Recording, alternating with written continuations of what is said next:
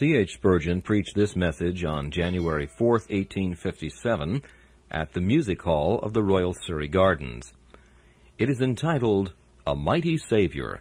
The text is found in Isaiah chapter 63 and verse 1, Mighty to save. This, of course, refers to our blessed Lord Jesus Christ, who is described as coming from Edom with dyed garments from Bozrah, and who, when it is questioned who he is, replies, I that speak in righteousness, mighty to save.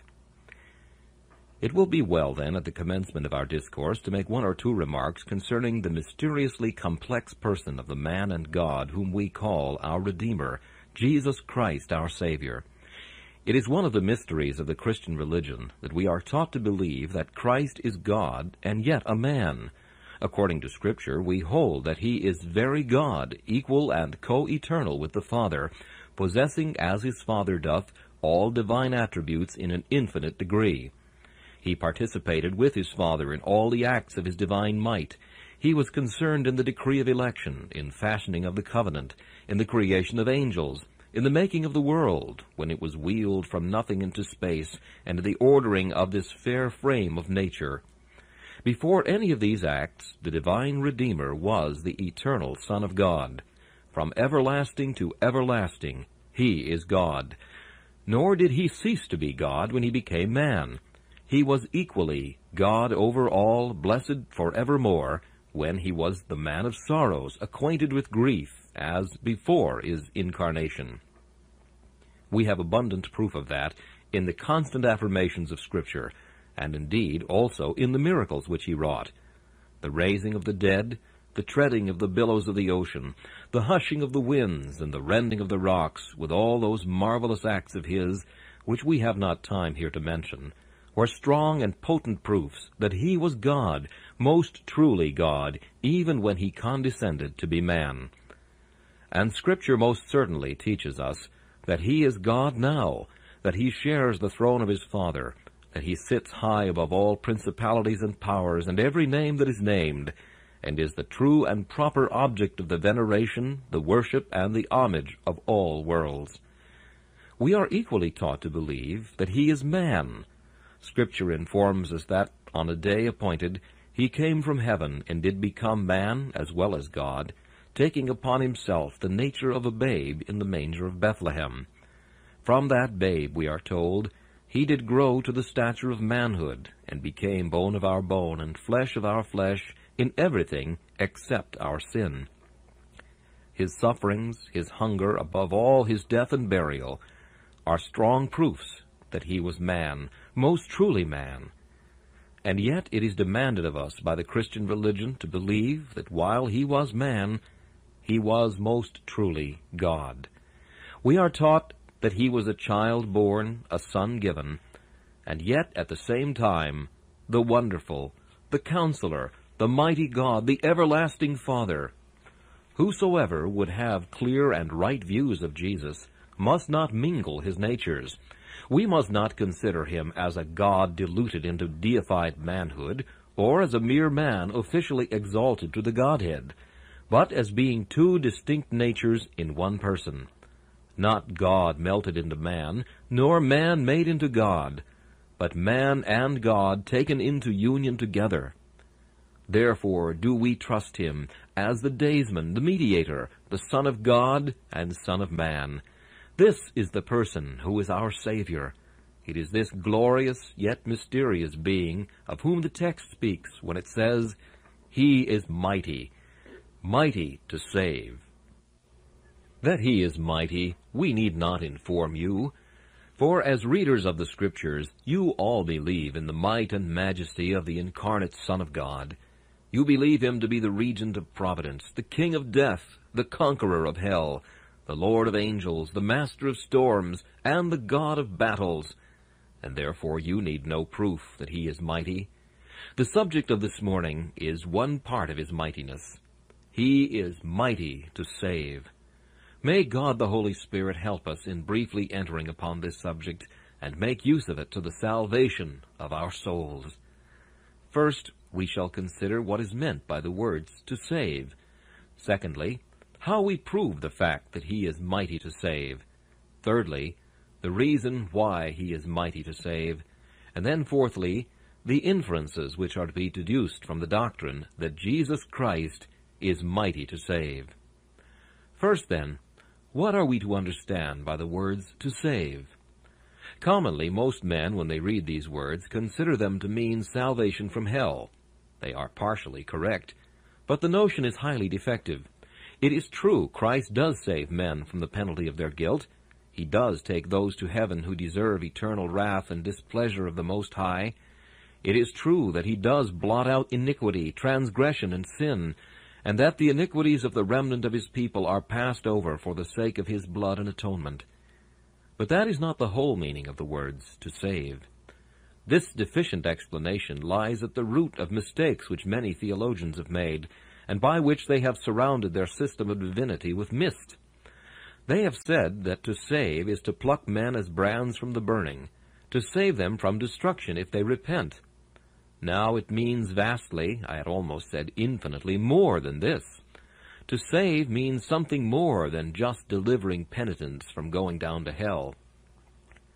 By the words to save, I understand the whole of the great work of salvation, from the first holy desire, the first spiritual conviction, onward to complete sanctification. All this done of God through Jesus Christ. Christ is not only mighty to save those who do repent, but he is able to make men repent.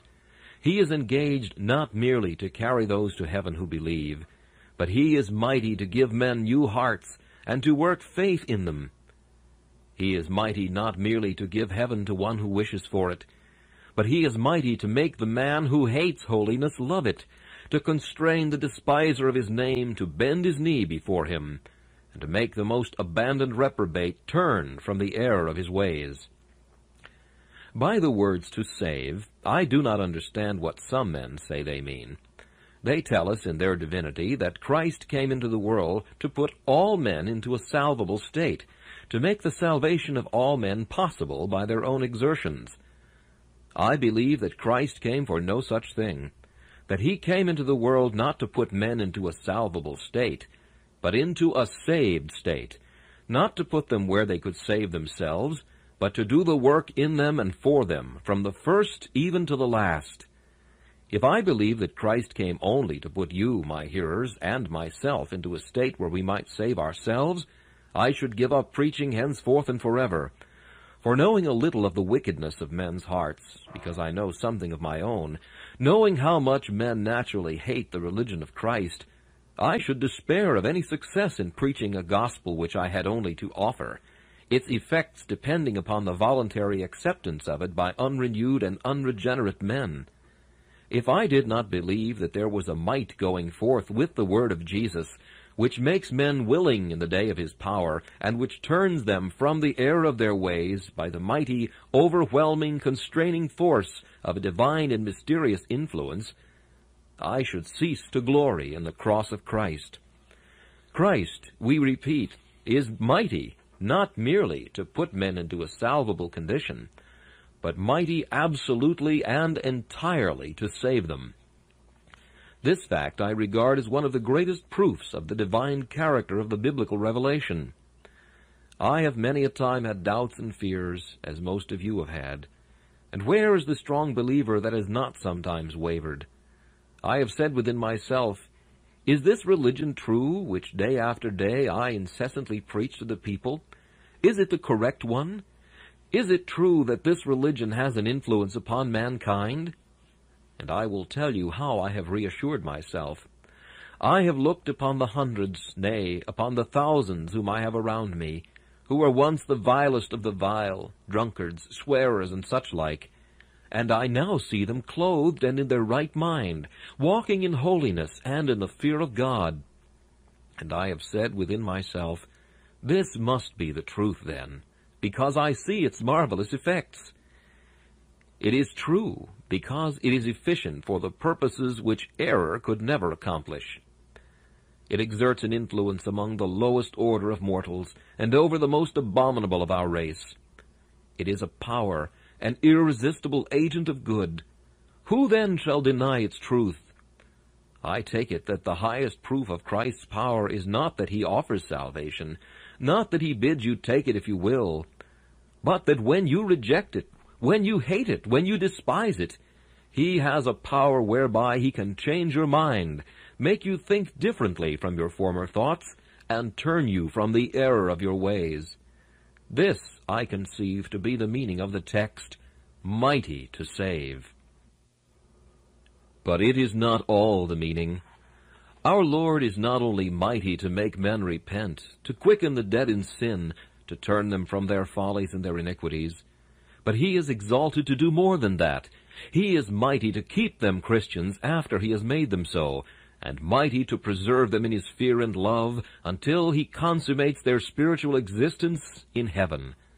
Christ's might doth not lie in making a believer and then leaving him to shift for himself afterwards. But he who begins the good work carries it on. He who imparts the first germ of life which quickens the dead soul gives afterwards the life which prolongs the divine existence and bestows that mighty power which at last bursts asunder every bond of sin and lands the soul perfected in glory. We hold and teach, and we believe upon scriptural authority, that all men unto whom Christ has given repentance must infallibly hold on their way. We do believe that God never begins a good work in a man without finishing it, that he never makes a man truly alive to spiritual things without carrying on that work in his soul even to the end, by giving him a place amongst the choirs of the sanctified. We do not think that Christ's power dwells in merely bringing me one day into grace, and then telling me to keep myself there, but in so putting me into a gracious state, and giving me such an inward life and such a power within myself, that I can no more turn back than the very sun in the heavens can stay itself in its course, or cease to shine. Beloved, we regard this as signified by the terms mighty to save. This is commonly called Calvinistic doctrine. It is none other than Christian doctrine, the doctrine of the Holy Bible. For despite that it is now called Calvinism, it could not be so called in Augustine's days, and yet in Augustine's works you find the very same things, and it is not to be called Augustinism. It is to be found in the writings of the Apostle Paul, and yet it was not called Paulism, simply for this reason, that it is the expansion, the fullness of the gospel of our Lord Jesus Christ. To repeat what we have before said, we hold and boldly teach that Jesus Christ is not merely able to save men who put themselves in his way and who are willing to be saved, but that he is able to make men willing, that he is able to make the drunkard renounce his drunkenness and come to him, that he is able to make the despiser bend his knee and make hard hearts melt before his love. Now it is ours to show that he is able to do so. How can we prove that Christ is mighty to save? We will give you the strongest argument first, and we shall need but one. The argument is that he has done it. We need no other. It were superfluous to add another. He has saved men. He has saved them in the full extent and meaning of the word which we have endeavored to explain. But in order to set this truth in a clear light, we will suppose the worst of cases. It is very easy to imagine, say some, that when Christ's gospel is preached to some here who are amiable and lovely, and have always been trained up in the fear of God, they will receive the gospel in the love of it. Very well, then, we will not take such a case. You see this South Sea Islander. He has just been eating a diabolical meal of human flesh. He is a cannibal. At his belt are slung the scalps of men whom he has murdered, and in whose blood he glories. If you land on the coast, he will eat you too, unless you mind what you are after. That man bows himself before a block of wood. He is a poor, ignorant, debased creature, but very little removed from the brute. Now, hath Christ's gospel power to tame that man, to take the scalps from his girdle, to make him give up his bloody practices, renounce his gods, and become a civilized and Christian man? You know, dear friends, you talk about the power of education in England. There may be a great deal in it. Education may do very much for some who are here, not in a spiritual, but in a natural way. But what would education do with this savage? Go and try. Send the best schoolmaster in England over to him. He will eat him before the day is up. That will be all the good of it. But if the missionary goes with Christ's gospel, what will become of him? Why, in multitudes of cases, he has been the pioneer of civilization, and under the providence of God has escaped a cruel death. He goes with love in his hands and in his eyes. He speaks to the savage. And mark ye, we are telling facts now, not dreams. The savage drops his tomahawk. Says he, It is marvelous. The things this man tells me are wonderful. I will sit down and listen. He listens, and the tears roll down his cheeks. A feeling of humanity which never burned within his soul before is kindled in him. He says, I believe in the Lord Jesus Christ. And soon he is clothed and in his right mind, and becomes in every respect a man, such a man as we could desire all men to be. Now we say that this is a proof that Christ's gospel does not come to the mind that is prepared for it, but prepares the mind for itself. That Christ does not merely put the seed into the ground that has been prepared beforehand, but he plows the ground too, aye, and harrows it, and does the whole of the work. He is so able to do all this. Ask our missionaries who are in Africa, in the midst of the greatest barbarians in the world. Ask them whether Christ's gospel is able to save. They will point to the kraal of the Hottentot, and then they will point to the houses of the Kuruman, and they will say, What has made this difference but the word of the gospel of Jesus Christ? Yes, dear brethren, we have had proofs enough in heathen countries, and why need we say more, but merely to add this? We have had proofs enough at home. There are some who preach a gospel which is very well fitted to train a man in morals, but utterly unfitted to save him, a gospel which does well enough to keep men sober when they become drunkards. It is a good thing enough to supply them with a kind of life when they have it already, but not to quicken the dead and save a soul. And it can give up to despair the very characters whom Christ's gospel was most of all intended to affect. I could a tale unfold of some who have plunged headfirst into the blackest gulfs of sin, which would horrify you and me if we could allow them to recount their guilt. I could tell you how they have come into God's house with their teeth set against the minister, determined that say what he would, they might listen, but it would be to scoff. They might stay a moment. Some word arrested their attention. They thought within themselves, I will hear that sentence. It was some pointed, terse saying that entered into their souls. They knew not how it was, but they were spellbound, and stood to listen a little longer. By and by, unconsciously to themselves, the tears began to fall. And when they went away, they had a strange, mysterious feeling about them that led them to their chambers. Down they fell on their knees. The story of their life was all told before God. He gave them peace through the blood of the Lamb. And they went to God's house, many of them, to say, Come and hear what God hath done for my soul, and to tell to sinners round what a dear Saviour they had found.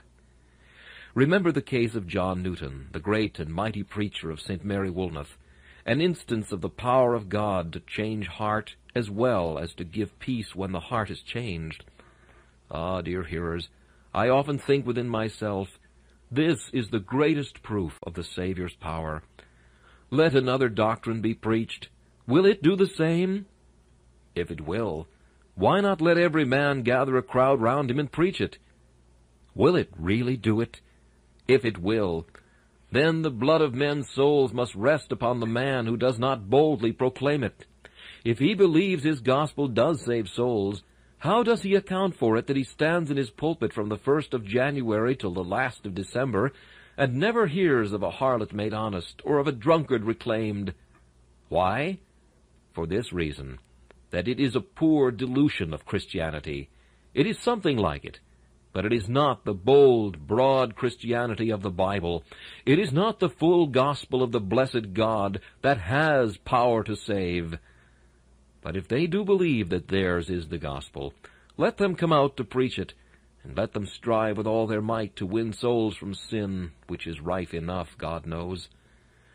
We say again that we have proof positive, in cases even here before us, that Christ is mighty to save even the worst of men, to turn them from follies in which they have too long indulged. And we believe that the same gospel preached elsewhere would produce the same results. The best proof you can ever have of God's being mighty to save, dear hearers, is that He saves you. Ah, my dear hearer, it were a miracle if He should save thy fellow that stands at thy side but were more of a miracle that he should save thee. What art thou this morning? Answer. I am an infidel, says one. I hate and despise Christ's religion. But suppose, sir, there should be such a power in that religion, that one day thou shouldst be brought to believe it. What wouldst thou say then? Ah, I know thou wouldst be in love with that gospel forever, for thou wouldst say, I, above all men, was the last to receive it. And yet here am I, I know not how, brought to love it. Oh, such a man, when constrained to believe, makes the most eloquent preacher in the world. Ah, but, says another, I have been a Sabbath breaker upon principle. I despise the Sabbath. I hate utterly and entirely everything religious. Well, I can never prove religion to you to be true unless it should ever lay hold of you and make you a new man. Then you will say there is something in it. We speak that we do know, and testify that we have seen. When we have felt the change it works in ourselves, then we speak of facts and not of fancies, and we speak very boldly too. We say again, He is mighty to save. But now it is asked, why is Christ mighty to save? To this there are sundry answers. First, if we understand the word save in the popular acceptation of the word, which is not after all the full one, though a true one, if we understand salvation to mean the pardon of sin and salvation from hell, Christ is mighty to save because of the infinite efficacy of his atoning blood. Sinner, black as thou art with sin, Christ this morning is able to make thee whiter than the driven snow. Thou askest, Why? I will tell thee. He is able to forgive, because he has been punished for thy sin. If thou dost know and feel thyself to be a sinner, if thou hast no hope or refuge before God but in Christ, then be it known that Christ is able to forgive, because he was once punished for the very sin which thou hast committed, and therefore he can freely remit, because the punishment has been entirely paid by himself. Whenever I get on this subject, I am tempted to tell a story. Though I have told it times enough in the hearing of many of you, others of you have never heard it, and it is the simplest way I know of setting out the belief I have in the atonement of Christ. Once a poor Irishman came to me in my vestry. He announced himself something in this way. Your Reverence, I'm come to ask you a question. In the first place, said I, I am not a reverend, nor do I claim the title. And in the next place, why don't you go and ask your priest that question? Said he, Well, your rev- uh, sir, I meant. I did go to him, but he did not answer me to my satisfaction exactly, so I've come to ask you. And if you will answer this, you will set my mind at peace, for I am much disturbed about it. What is the question? said I. Why this. You say, and others say too, that God is able to forgive sin. Now I can't see how he can be just and yet forgive sin. For, said this poor man, I have been so greatly guilty that if God Almighty does not punish me, he ought.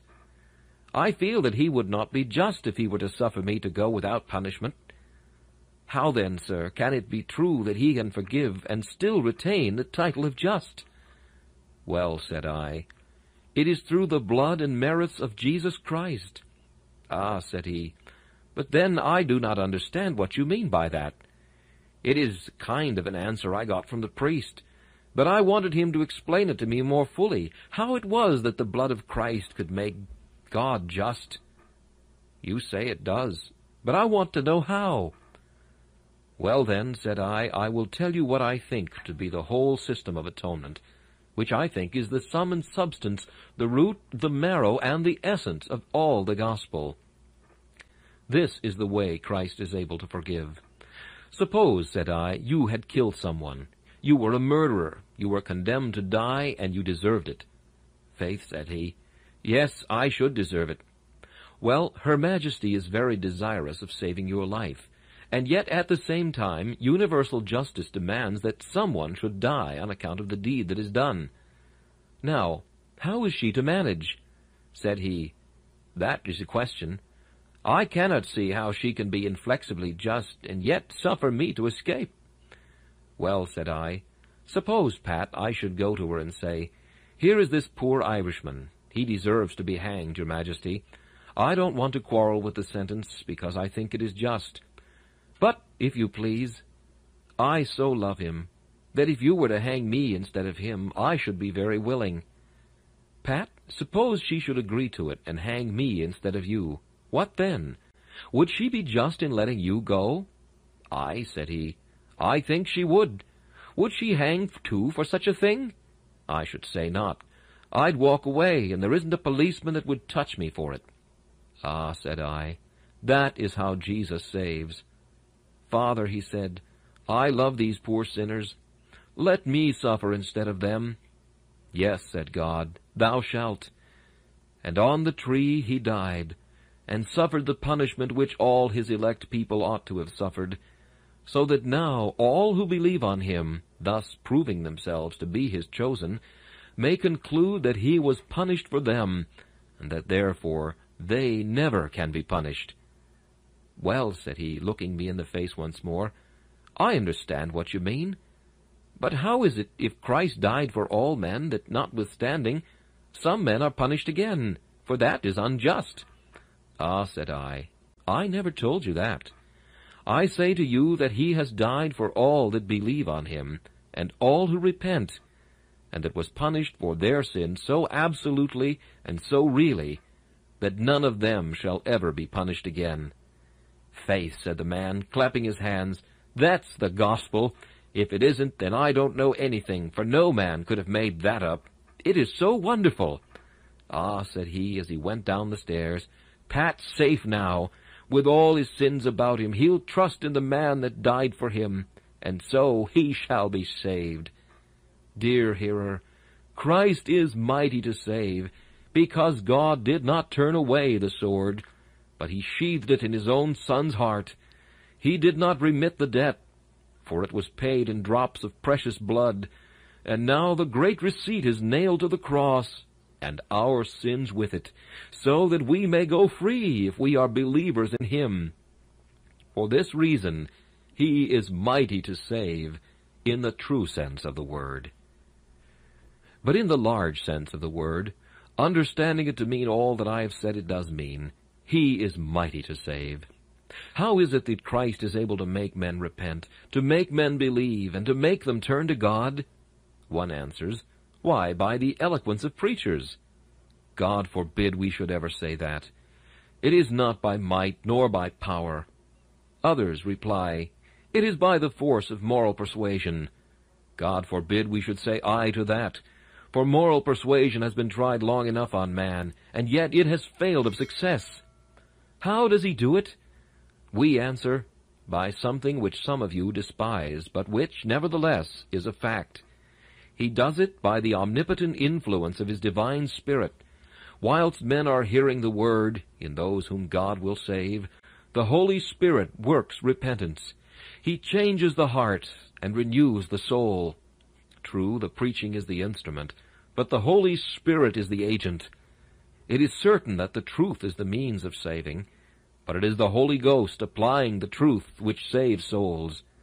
Ah, and with this power of the Holy Ghost, we may go to the most debased and degraded of men, and we need not be afraid that but God can save them. If God should please, the Holy Spirit could at this moment make every one of you fall on your knees, confess your sins, and turn to God. He is an almighty Spirit, able to do wonders. In the life of Whitfield, we read that sometimes under one of his sermons, Two thousand persons would at once profess to be saved, and were really so, many of them. we ask why it was. At other times he preached just as powerfully, and not one soul was saved. Why? Because in the one case the Holy Spirit went with the Word, and in the other case it did not. All the heavenly result of preaching is owing to the divine Spirit sent from above. I am nothing. My brethren in the ministry around are all nothing. It is God that doeth everything. Who is Paul? Who is Apollos? And who is Cephas? But ministers by whom ye believed, even as God gave to every man. It must be not by might nor by power, but by my Spirit, saith the Lord. Go forth, poor minister. Thou hast no power to preach with polished diction and eloquent refinement. Go and preach as thou canst. The Spirit can make thy feeble words more mighty than the most ravishing eloquence. Alas, alas for oratory! Alas for eloquence! It had long enough been tried. We have had polished periods, and finely turned sentences. But in what place have the people been saved by them? We have had grand and gaudy language, but where have hearts been renewed? But now, by the foolishness of preaching, by the simple utterance of by a child of God's word, he is pleased to save them that believe, and to save sinners from the error of their ways. May God prove his word again this morning. The fourth point was, what are the inferences to be derived from the fact that Jesus Christ is mighty to save? Why, first, there is a fact for ministers to learn, that they should endeavor to preach in faith, nothing wavering. O God, cries the minister at times when he is on his knees, I am weak. I have preached to my hearers, and have wept over them. I have groaned for them, but they will not turn to thee. Their hearts are like the nether millstone. They will not weep for sin, nor will they love the Saviour. Then I think I see the angel standing at his elbow and whispering in his ear, Thou art weak, but he is strong. Thou canst do nothing, but he is mighty to save. Bethink thyself of this. It is not the instrument, but the God. It is not the pen wherewith the author writes which is to have the praise of his wisdom or the making of the volume, but it is the brain that thinks it, and the hand that moves the pen. So in salvation, it is not the minister, it is not the preacher, but the God who first designs salvation and afterwards uses the preacher to work it out. Ah, poor disconsolate preacher, if thou hast had but little fruit of thy ministry, go on still in faith, remembering it is written, My word shall not return unto me void, but it shall accomplish that which I please, and prosper in the thing whereto I sent it. Go on, be of good courage, God shall help thee. He shall help thee, and that right early. Again, here is another encouragement for praying men and women who are praying to God for their friends. Mother, you have been groaning for your son for many a year. He is now grown up and has left your roof, but your prayers have not been heard. So you think. He is as rebellious as ever. Not yet has he made your breasts rejoice. Sometimes you think he will bring your gray hairs with sorrow to the grave. It was but yesterday that you said, I will give him up. I will never pray for him again. Stop, mother, stop. By all that is holy and that is heavenly, stop. Utter not that resolution again. Begin once more. Thou hast prayed over him. Thou didst weep over his infant forehead when he lay in his cradle. Thou didst teach him when he came to years of understanding, and thou hast often warned him since, but all of no avail. Oh, give not up thy prayers. For remember, Christ is mighty to save. It may be that he waits to be gracious, and he keeps thee waiting, that thou mayest know more of his graciousness when the mercy comes. But pray on. I have heard of mothers who have prayed for their children twenty years, and I of some who have died without seeing them converted, and then their very death has been the means of saving their children by leading them to think. A father once had been a pious man for many years, yet never had he had the happiness of seeing one of his sons converted.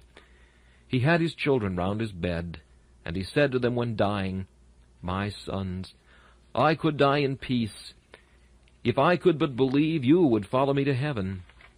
But this is the most sorrowful thing of all.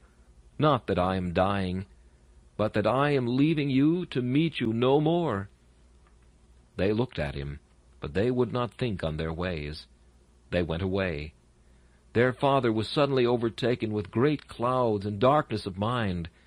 Instead of dying peacefully and happily, he died in great misery of soul, but still trusting in Christ. He said when he died, Oh, that I had died a happy death, for that would have been a testimony to my sons. But now, O God, this darkness and these clouds have in some degree taken away my power to witness to the truth of thy religion. Well, he died and was buried. The sons came to the funeral. The day after, one of them said to his brother, Brother, I have been thinking. Father was always a pious man, and if his death was yet such a gloomy one, how gloomy must ours be, without God and without Christ. Ah, said the other, that thought struck me too. They went up to God's house, heard God's word. They came home and bent their knee in prayer. And to their surprise, they found that the rest of the family had done the same, and that the God who had never answered the father's prayer in his life had answered it after his death, and by his death too, and by such a death as would appear to be most unlikely to have wrought the conversion of any. Pray on, then, my sister. Pray on, my brother. God shall yet bring thy sons and daughters to his love and fear, and thou shalt rejoice over them in heaven, if thou never dost on earth. And finally, my dear hearers, there are many of you here this morning who have no love to God, no love to Christ, but you have a desire in your hearts to love Him. You are saying, Oh, can He save me? Can such a wretch as I be saved? In the thick of the crowd you are standing, and you are now saying within yourselves, May I one day sing among the saints above? May I have all my sins blotted out by blood divine? Yes, sinner, he is mighty to save, and this is comfort for thee. Dost thou think thyself the worst of men? Does conscience smite thee as with a mailed fist? And does he say, It is all over with thee? Thou wilt be lost, thy repentance will be of no avail, thy prayers never will be heard, thou art lost to all intents and purposes? My hearer, Think not so. He is mighty to save. If thou canst not pray, he can help thee to do it. If thou canst not repent, he can give thee repentance. If thou feelest it hard to believe, he can help thee to believe. For he is exalted on high to give repentance as well as to give remission of sins. O poor sinner, trust in Jesus. Cast thyself on him. Cry, and may God help thee to do it now. May he help thee this very day to cast thy soul on Jesus. Turn ye, turn ye. Why will ye die, O house of Israel? Turn unto Jesus, ye wearied souls. Come unto him, for lo, he bids you come. The Spirit and the bride say, Come, and let him that heareth say, Come. And whosoever will, let him come and take of the water of life, and have Christ's grace freely. It is preached to you, and to all of you who are willing to receive it, it has been already given.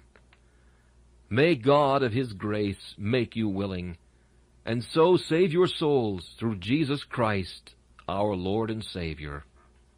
Amen. This message, A Mighty Savior, was preached by Charles Haddon Spurgeon on January 4th, 1857. This is Charles Kelsch inviting you to join me again for another message from the Prince of Preachers.